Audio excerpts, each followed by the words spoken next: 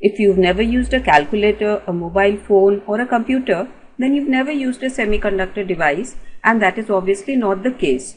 Now, two very important semiconductors that are used in the fabrication of these devices are silicon and germanium. And we'll first take a look at these materials if they're absolutely pure. Pure, which means they have no impurities in them. And then we'll take a look at adding tiny quantities of impurities modifies their properties in such a way that these materials are actually an indispensable part of the modern electronics industry. So instead of pure materials, we'll prefer impure materials. Let's take a look at their electronic structure. Silicon and germanium are both tetravalent which means they have four electrons in their outermost shell. So we can just draw four electrons over here in each of these atoms. Now valence electron is shared with four surrounding atoms. So you'll have one silicon present here, we have one over here, one over here and one over here. And these covalent bonds are strong bonds and this gives the solid its crystalline shape. See now at 0 Kelvin all these valence electrons are firmly bound to the nucleus and they cannot move at all. You can see it because these covalent bonds are all strong bonds. However, at room temperature, electrons acquire some thermal energy. And if this energy is sufficient to break the covalent bond, then the electron can move out and what you have is a vacancy or a hole created in its place. There is a missing electron over here and this missing electron is called a hole. So now we have electron hole pairs which are created in the material. This is the electron and this is the hole. So we have these electron hole pairs which are created and now these are the charge carriers. Electrons as well as holes are the charge carriers. Now see it's easy to understand these that these free electrons are available for charge conduction and they will move when an external field is applied. Say you have a semiconductor material and if you connect this to an external source we have an electric field which will act on the material and these free electrons will move as a result of this. Let's take a look at the mechanism of charge transfer due to holes. Let's say an electron moves out from position 1. So we have an electron available over here and there is a hole at this location. Now since this atom has lost one electron, it acquires a positive charge. Now this positive charge is going to attract a neighboring electron and let's say electron 2 moves into this position and occupies this hole which is present at 1. So the electron has moved over here into this location and at 2 we have a hole. Now with the electron having moved out of silicon, silicon this silicon atom acquires a positive charge. This silicon atom is once again going to attract a neighboring electron and let's say the electron which is present at position 3 moves in to occupy this vacancy or hole and effectively we have a hole at position 3 now.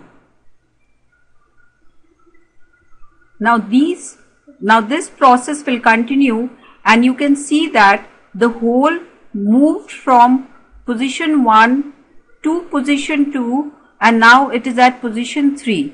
So effectively the hole has moved in this direction and if you noticed the motion of the hole in this direction was due to the motion of the electron in the opposite direction because the electron moved from here to here then the electron moved from here to here. So the electrons moved in this direction and we can say that a positive charge or a hole moves in the opposite direction. So in case of intrinsic semiconductors, now these are called intrinsic semiconductors. we have electron hole pairs and both the electrons and the holes contribute to the flow of current. So in case of a semiconductor material, we can write that the total current I is due to both the electrons and the holes and this can be written as NEAV for the holes plus NEAV for the electrons. And obviously the velocity of the holes will be much smaller than the velocity of electrons but the number density the number of electrons and holes is always equal in case of an intrinsic semiconductor because the, the electrons and holes are always created in pairs. See the mechanism that we just discussed can also be explained using energy bands. Now in case you are not familiar with energy bands, I suggest you go through the lesson titled Introduction to Semiconductors and Energy Band Diagrams and you'll find it in the playlist titled Semiconductors.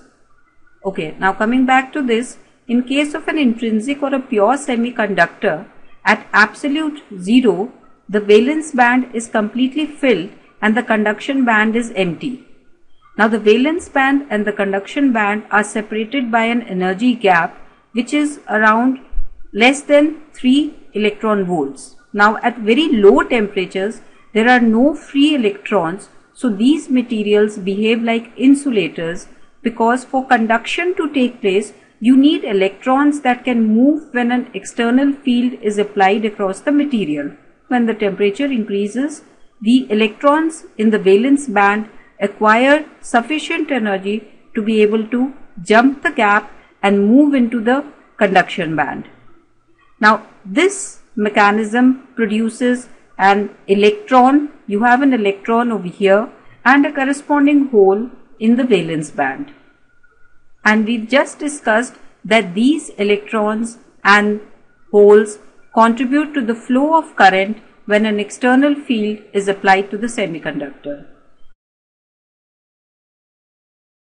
The intrinsic semiconductor has a certain number of charge carriers when the temperature is above absolute zero.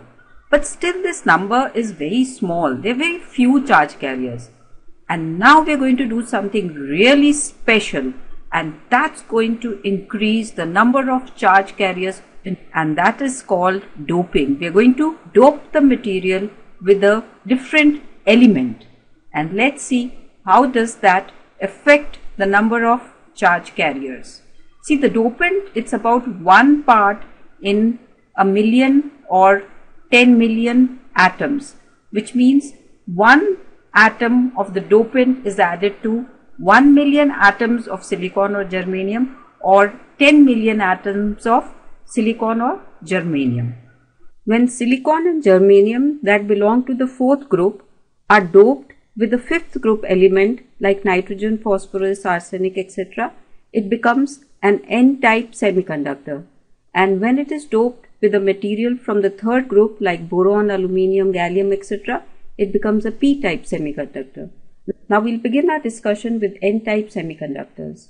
Now silicon has four valence electrons and each of these four electrons are shared with neighboring four silicon atoms. Now if we dope this with the fifth group element, let's say arsenic, then we'll in place of a silicon atom over here, we'll put an arsenic atom because Arsenic is a substitution impurity. So let's just draw this. I have drawn these arsenic electrons in red and you can see that four of the arsenic electrons are shared with neighboring silicon atoms but the fifth electron is free. It can move around in the material. Now, if this electron is free and it moves out, then the arsenic atom will get ionized and it will have a positive charge. Even though this is charged, it cannot participate in conduction because it is unable to move and it remains at a lattice site where it is bound on all sides. Now just to get an idea of how much is the number of charge carriers going to increase, let's say you add 1 gram, 1 milligram of arsenic and 1 milligram of arsenic has 8 into 10 to the power 14 atoms. Now each atom of arsenic is going to give us 1 electron which means now we have 8 into 10 to the power 14 free electrons. So you can see that the number of free electrons which are available now is very large. So on adding the dopant material, you have a very large concentration of free electrons or negative charge carriers. Hence the material is called an N-type semiconductor because these free electrons have a negative charge. Now we say that the majority charge carriers in case of an N-type semiconductor are the electrons and the minority carriers are holes. If you remember earlier we said that there are always a few thermally generated electrons and holes. The number of electrons are, is already so large that those few thermally generated electrons is not going to really make much of a difference. But you also have to consider that there are a few holes which are present and these are now called minority carriers because these are extremely few in number. Now we can understand this increase in conductivity using the concept of energy bands. See the energy levels of the donor atoms are just below the conduction band and this is this is at a difference of about 0.01 electron volts. Now these levels are called donor levels and at room temperature the thermal energy of the electrons is about 0.025 electron volts and you can see that this is more than this energy gap. Hence the electrons which are present over here can move into the conduction band and they have sufficient energy to be able to jump this small gap. Now these free electrons in the conduction band which are very large in number are the majority carriers but there are a few thermally generated electron hole pairs because a few electrons will jump the energy gap and leave behind holes. So these holes which are formed over here in the valence band are the minority carriers. Now we'll be talking of p-type semiconductors and now instead of a fifth group element, a third group element like boron, aluminium, gallium, indium etc. which has three valence electrons are used to substitute the silicon atoms. So these are substitution impurities. Now I have drawn the three electrons for indium in red and you can see that indium is sharing three electrons with neighboring silicon atoms but the fourth is a hole. It is a vacancy. There is no electron present over here. Now to complete its four covalent bonds, it borrows or it steals a neighboring electron. Now when a neighboring electron moves in to the indium atom over here, then there is a missing electron at this location. So we have a hole. Now when this indium atom borrows or let's say steals an electron from a neighboring atom it acquires a negative charge so now indium has a net negative charge but it cannot help in conduction because it is it occupies a lattice site and it is bound on all sides now since this material now has an excess of positive charge or holes present. So it is called a p-type semiconductor. P stands for positive. Now these holes can move through the material and help improve the conductivity of the material. The mechanism of conduction of holes is similar to what we discussed earlier. We can depict this situation using an energy band diagram and instead of donor levels we have acceptor levels now which are drawn slightly above the conduction band and at an energy gap of about 0.01 electron volts. Now when electrons move from the valence band to this band over here which is the movement of electrons into holes we have holes which are created in the valence band. If you notice these electrons which are formed in the acceptor levels are not free to move as they are a part of the covalent bonds but these holes are free to move and these are the ones that provide conductivity. In a p-type semiconductor, holes are majority carriers and there are very few thermally generated electrons. You have an electron which can jump the energy gap, so there are a few thermally generated electrons which are minority carriers. To test your understanding, try these questions. The answers are given a short while later. And here are the answers. Thank you.